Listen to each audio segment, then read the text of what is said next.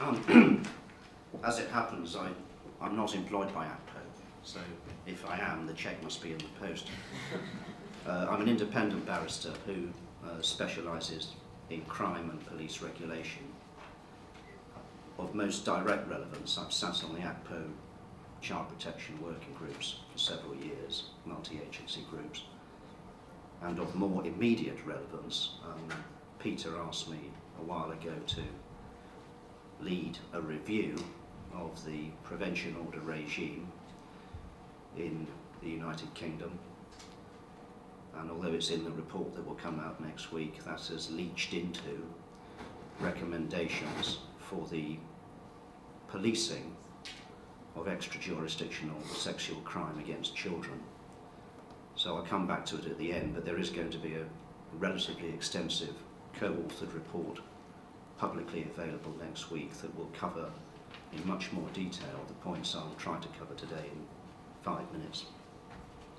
So, um, headline points. The point of today's talk is what parliamentarians can do to tackle the sexual abuse of children overseas by British sex offenders. I don't differentiate immediately between tourists and endemic offenders. I think there is a distinction, but not for today's purposes. The short answer for parliamentarians is change the law so far as the regulation and prevention of travel by identified high-risk offenders is concerned. And secondly, there has to be a different approach to the fixed resources for policing this sort of extra-jurisdictional crime.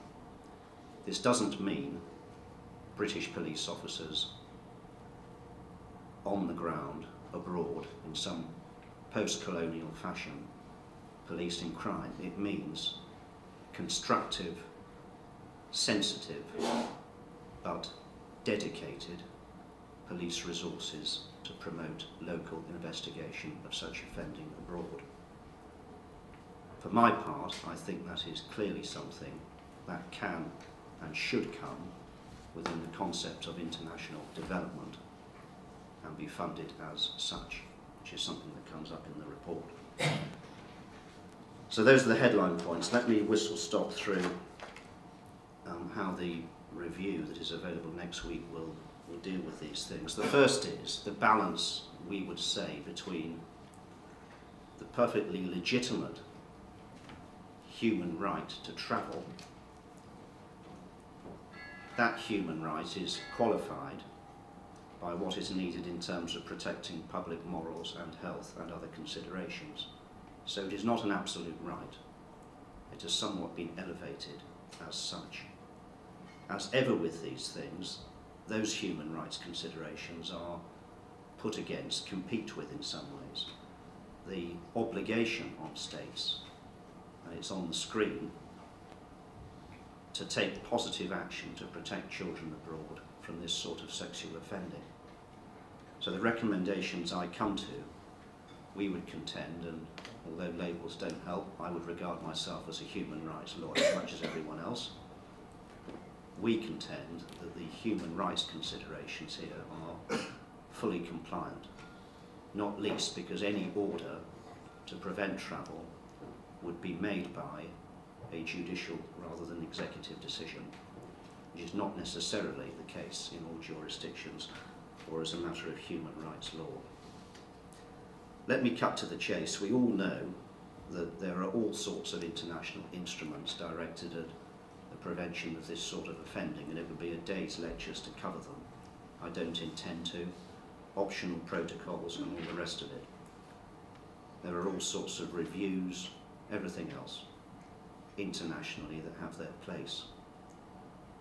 Actually, what matters is not that high level sort of review process and so on, although it is important and promotes international state accountability.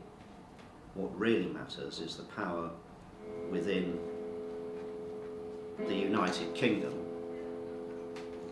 to identify, hopefully by police forces and others sharing intelligence on a, a more engaged basis. The mantra is dare to share post Bichard. sharing intelligence, identifying likely offenders, putting that evidence before an independent court with a view to a proportionate restriction on travel. Presently, those, you may think, rather self-evident principles, identify a risk, prove it, get an order appropriately, are simply not the starting point for these sorts of orders restricting travel. It's much more complicated and obstructive than that. Section 114 of the Sexual Offences Act, it follows on from other forms of legislation to similar effect. Just take on board what's on the screen. This is the foreign travel order provision as presently drafted. First part in quotes is, is not strictly from the statute. The statute says it's necessary to make such an order for the purpose of protecting a person of under 18 years from serious sexual harm. But look at what is needed at the moment. The local chief officer of police, not CEOP, not the CPS, not any other law enforcement agency, the local officer and these offenders or likely offenders often move around relatively regularly ahead of any police intelligence.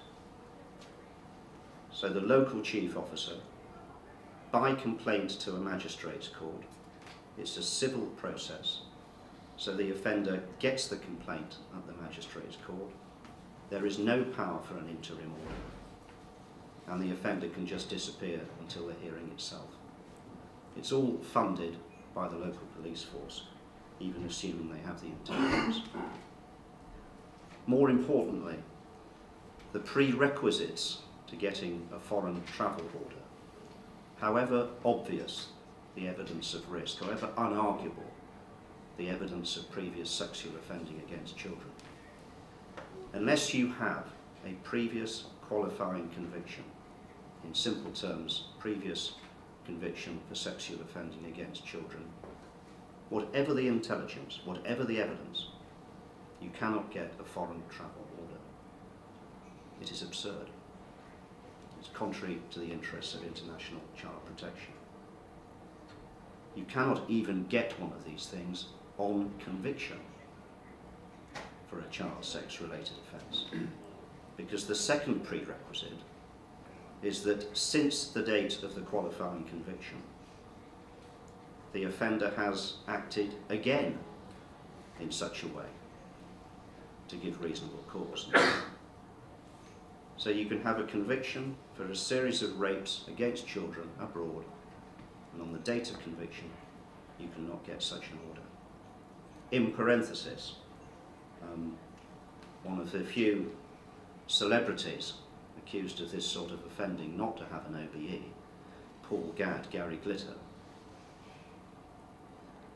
convicted in Cambodia, somewhat against prediction, conviction upheld on appeal. Culturally, that was unusual for a white Western offender. It was too high profile. But the only basis on which CEOP was able to get a foreign travel order in that context was that by chance he had consented to a psychological interview with somebody from the behaviour management unit from CEOP. And in that interview, he'd indicated an ongoing interest in children. But for that, there would have been no evidence to meet that second prerequisite. Again, you may think counterintuitive and contrary to the interests of child protection. Now, to be very quick, the UK position protecting children in the UK, sexual offences prevention orders are available on conviction. But if you don't get it on conviction, the chief officer again has to go back not only with the conviction, but with conduct since the conviction, proved to the criminal standard to demonstrate the risk. Risk of sexual harm orders, in practice UK-based offending only, no previous conviction required, but what you do need is at least two defined contact offences against children. So downloading, distributing indecent pictures of children do not qualify. Contact offending only counts. So, you can have a proven rape of a child, conviction, even without a conviction, a proven rape of a child. If it's happened only once, no basis in law for a risk of sexual harm. Again, it's quite wrong, counterintuitive. What's that happened in practice with all these considerations? Foreign travel orders, eight years across the country, 50 in aggregate, of which only 14 are for the full five-year period. And you've heard the numbers. There is such a disproportion here that it should be a matter of genuine parliamentary concern. What do we suggest? We suggest a much simplified order on conviction or otherwise, a whole class of different people informed with the best intelligence can make application. No previous conviction required, no other prerequisites, just a simple evidence-led approach based on risk and then real flexibility as to which order is imposed. Simple, fair, proportionate, human rights compliant. That's what the legislation should be doing. In terms of extra-jurisdictional policing, we can deal with this extremely quickly. The National Crime Agency may change things, but as things stand, there is not a single fixed police officer or other law enforcement officer abroad directed at child protection, not one. And what's needed, surely, is, as the Australians do, fixed, sensitive, extra-jurisdictional resources to promote the investigation and prosecution of British nationals abroad for this sort of offending. So resources abroad and here, fixed national centralised resource to investigate extra-jurisdictional crime. Presently, largely, it falls on the local force again. Local forces cannot resource it, they have no experience, and it will not be a PCC priority.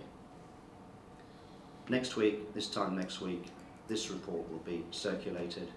It's a relatively substantial document. Peter commissioned it. ACPO will need to review whether and to what extent it adopts what is recommended. I'm encouraged by what he said this morning. Multi-agency, multi-expertise, hopefully an informed contribution to the debate. Peter's to be uh, commended, if I may say so, for permitting this report, which is intended to be constructive, gives due credit for the legislative changes that Parliament has made, notification orders and the rest. He's to be commended strongly for permitting this report to be made public immediately for everybody to get their teeth into, whatever they think of it.